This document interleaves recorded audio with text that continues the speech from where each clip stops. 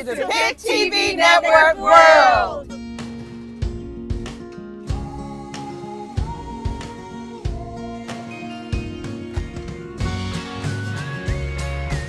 Who is this beautiful lady right here? Tell me what you do. Hi, I'm Sheila Griffith, and I'm the Vice President of Programs and Services for the Alzheimer's Association National Capital Area chapter. That we are here in La Plata today having a wonderful time.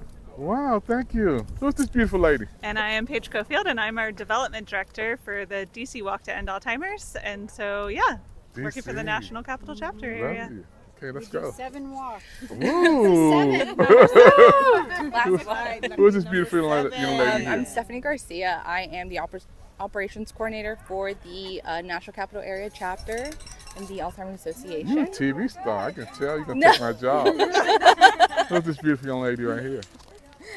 I'm Jenny. I'm our executive assistant for the National Capital Area chapter with the Alzheimer's Association. Great, great. Who's this young lady? Hi, I'm Natalie McKinney. I was the MC this year, Wow. and these ladies make me look good. Wow. That's all I can say. Beautiful, thank you. Thank you.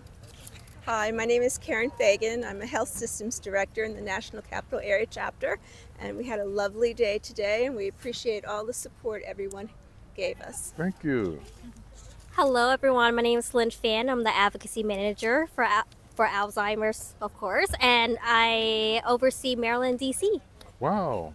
Okay.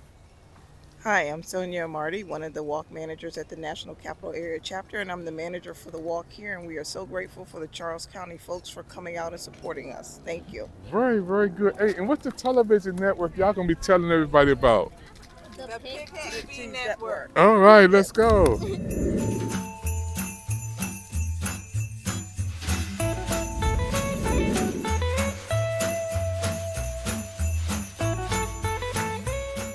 beautiful lady, what's the TV network you're gonna be watching?